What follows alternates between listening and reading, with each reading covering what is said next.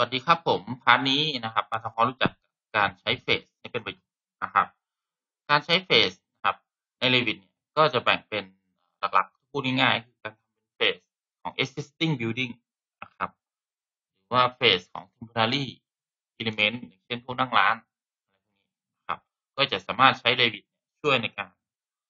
โอร์ไรพวก color เพื่อเพื่อให้ง่ายต่อการทำแบบเพื่อให้ง่ายต่อการเป็น ทีนี้มาลองดูที่เวลาเราทำงานปกตินะครับ default เนี่ยเขาจะโชว์เฟสเขาจะเฟสเขาจะปรับเป็น new construction นั่นหมายความว่าทุกสิ่งที่เราสร้างขึ้นมาใหม่ทุก element ที่เราสร้างอยู่ในเฟสสร้างใหม่ new construction นั่นเองนะครับ นี่ผมจะพาเข้าไปดูในเมนูในเฟส facing ก็จะเห็นว่าตอนนี้ default ก็จะมีสองอัน existing กับ new construction นะครับ เมื่อผมเลือก element นะครับ แต่ละ element ก็จะมีข้อมูลของ phase นะครับระบุอยู่อย่างนี้ create ใน new construction ถ้าผมอยากปรับให้เป็น existing ก็ได้แน่นอนเป็น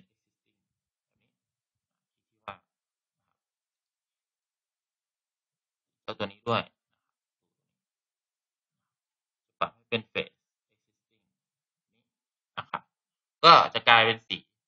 เทาจางลงไปนะครับเดี๋ยวจะค่อยค่อยๆพูด ว่าทำไมถึงเป็นเช่นนี้โอเค เรามากลับมาดูที่เฟสก็จะเห็นว่ามีสองเฟส existing กับ new construction ที่ซึ่งในหน้าเฟสเราเราลองดูตรงนี้ ข้างบนคือ past ด้านล่างคือ future ที่เรียงแบบ existing นะครับอดีตไล่ลงมาหาอนาคตคือ new construction เราสามารถเพิ่มได้นะครับเช่นผมจะเอา before existing before มีก่อนมีเหตุการณ์เกิดขึ้นก่อนหน้านั้นอ่า existing phase ตึกนี้อาจจะ เคยไปทุบตึกเก่ามาอีกทีหนึ่งอะไรเงี้ยนะครับ ก็สร้างเฟสใหม่ขึ้นมาได้สร้างอ่าถ้าจะสร้าง after นะครับ สร้างเฟสใหม่กว่า new construction ก็มาเป็น after แต่ว่าอะอีกขอ ขอกดมันไม่มี undo นะฮะไม่มี delete มันมีแต่เอาไป combine นะครับ ก็ combine with previous เอาสี่นะครับ ไป combine กับสามแก้ไข combine เอาไปรวมกันนั่นเองแล้วก็หนึ่งนะครับ เอาไป combine กับสองก็ combine with next นะครับก็ combine กับ existing เอาแค่สองเฟสเรียนรู้แค่สองเฟสก็พอละทีนี้มาดูนะครับ phase filter อ่าขออนุญาต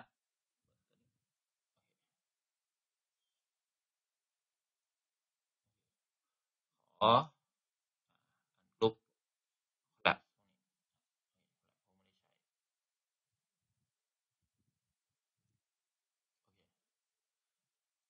อะมาดูเรื่อง phase filter นะครับ จะเห็นว่าตอนนี้ phase filter ของผมเป็น show all show all คืออะไร show all ก็คืออ่า new phase นะครับ new phase ก็จะสีเส้นน้ำหนักเส้นก็จะตาม category ตาม object style ที่เราได้ปรับได้ตั้งค่าตอนเขียนโมเดลปกติ แต่พอเป็น phase existing นะครับคือเจ้าผนังกับประตูชุดกลางที่เป็น phase existing ก็จะโดน overridden หรือว่าโดน override เส้น override เส้นแม้กระทั่ง phase demolish นะครับ demolish ผมยังไม่ได้ demolish หรือ temporary นะยังไม่ได้พูดพูดถึงต่อไป ก็จะโดน override override ยังไง ลองดูที่กราฟิก override นะฮะ phase existing นะครับจะโดน override เป็นสีเทาเส้นคัดเป็นสีเทาเส้นลายเป็นสีเทาจะลองเปลี่ยนนะสมมติว่าตัว existing เนี่ยให้เป็นสีส้มโอเคคัดนี่คือ phase existing ก็จะเป็นสีส้มแล้วเมื่อผมนะครับมาดูที่นี้รอบนึง ถ้าผมปรับเป็น show complete ล่ะอธิบายง่าย show all ก็คือตามนี้ new by category ตัวอื่นโดนโอนโดน override หมดแต่ถ้าเป็น show complete นะครับลองสังเกตตัว new นะครับ ก็จะโชว์เป็น by category แต่ new กับ existing ก็จะโชว์เป็น by category แต่พวกที่โดน demolish นะครับ พวก temporary เนี่ยก็จะไม่โชว์อ่า ตัวนี้ยังเป็น existing อยู่นั่นหมายความว่าเมื่อสร้างเสร็จแล้วมันก็ยังอยู่นะเพราะมันไม่ได้โดน demolish ผมปรับเป็นโชว์ complete นะโชว์ complete ก็จะโชว์ทุกอย่าง แต่เมื่อไหร่ก็ตามนะครับ ที่ผมใช้เครื่องมือ demolish หรือว่ามาปรับ phase demolish นะครับ มาเลือก phase ให้เขาครับจะลองใช้ตัว demolish demolish ในเฟสไหน ตอนนี้เราทำงานในเฟส new construction นั่นหมายความว่า ผนังที่เคยมีอยู่แล้วเนี่ย จะโดนทุบในเฟส new construction ก็ปุ๊บเขาก็จะหายไป หายไปเนื่องจากครับผมวกกลับไปกับมันนิดนึงคืออยากให้เห็นความสำคัญของมันหายไปเนื่องจากอ่า phase filter ตัวนี้ผมเป็น show complete ตัวที่โดน demolish ก็จะ not display โอเคแต่ถ้าปรับไปเป็น show all ตัวที่ demolish ก็จะโดน override override แบบไหน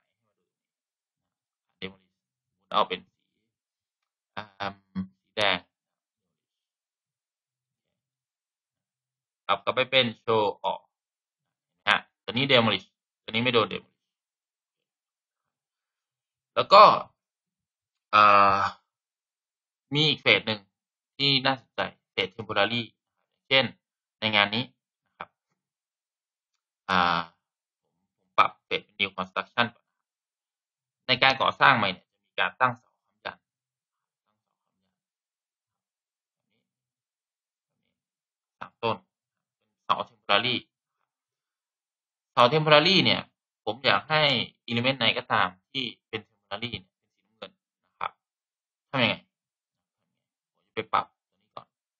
เฟสกราฟิกโอไลน์ของตัว temporary ปรับตัวคัดแล้วกันให้เป็นสีอ้าวเขาเป็นสีน้ำเงินอยู่แล้วสีน้ำเงินก็เป็นลายเป็น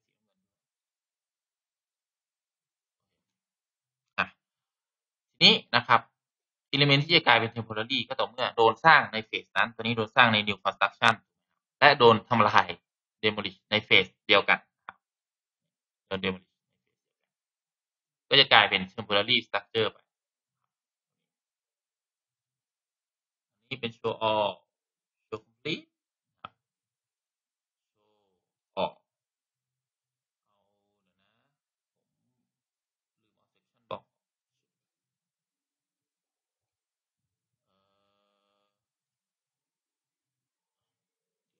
นะผมลืมเอา section บอก ชัดๆ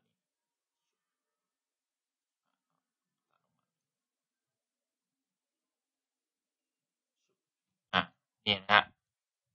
ตอนนี้เป็นโชว์ออยู่ตัวนี้โดน demolish